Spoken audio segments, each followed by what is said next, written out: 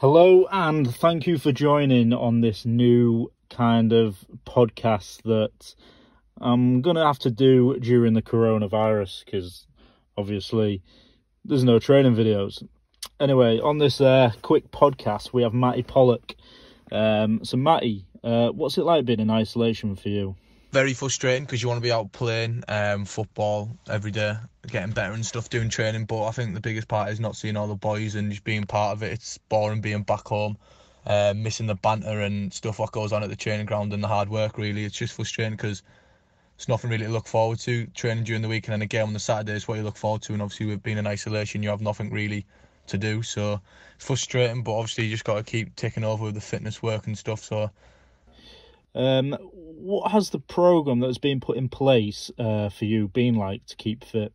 See, the program that's uh, Greg's done for us is really tough. Um, it's got different types of running, so like more like a bit of long distance and uh, short and sharp stuff as well. So just to take over, obviously while we're in isolation, to keep like as fresh as we can and fit as we can, but it's also getting the balance so we're not tired and run down, especially when we go back. Obviously, um, so now it's, it's, a good good program. Um, I don't think it's too hard. I don't think it's too easy. So obviously it's, it is hard, very hard, but um, it's also a couple of runs that are enjoyable and stuff. So now really good balance and it's good and hard. So what we need. If if um if the season is to be voided, where do you think Town uh, would have finished in the table?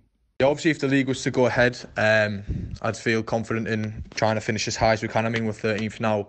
Um, there's no reason why, with the players we've got, and obviously with the with the way we're going, I, I think there's no reason why we couldn't really push on um, to go as high as we can and hopefully getting in and around the playoffs. Obviously, that's what the aim is. But I think I think we can all. We, I think we can definitely go up a few more places and really push for it um, and see where we can finish at the end of the season. Really. What has been the most um, memorable moment of the season so far for you? I think the um, most memorable moment of the season for me is probably uh, the week of my birthday where I played Chelsea on the Wednesday. Although the result obviously didn't go the way we wanted to, obviously mad experience playing in front of that many fans and obviously at Stamford Bridge against some players who obviously massive inspiration to me um, and who are obviously top top athletes. Um, but also to beat Exeter on the Saturday on my birthday for my 18th, I think just topped the week off. Um, obviously I just had an unbelievable birthday week. Was with the lads all the week as well. So now I really enjoyed that week. I'd probably say that was my most memorable um, moment. Obviously there's been a lot this season from obviously starting my first league game and stuff like that. But now I think I think the biggest one was probably Chelsea. Yeah. Also, I know you have a lot of uh, partnerships at the back, but what what's it like playing with uh, Ludvig Öhman uh, at the back? Yeah, playing with uh, Luda is quality. I mean, he's daft as. Uh, we get on really well, and he, like I said, I think he, he helps me out massively. He speaks to me a lot during the game, um, and you know if anything's coming in the box, he's going to be probably the first there to head it and uh, defend it. So now it's really good playing with him, and I enjoy it. And obviously we've got a really good relationship on and off the pitch. So really good to be like mates with him and playing on the pitch. I really enjoy it.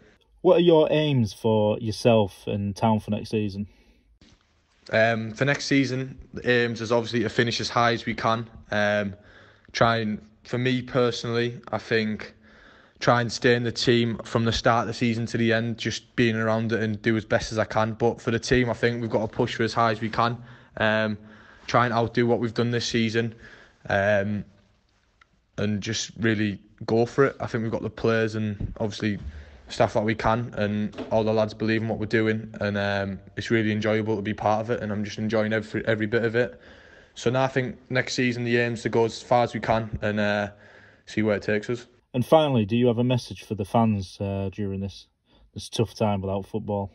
Um, I just like to say, obviously, a massive thank you for every every like away following this season.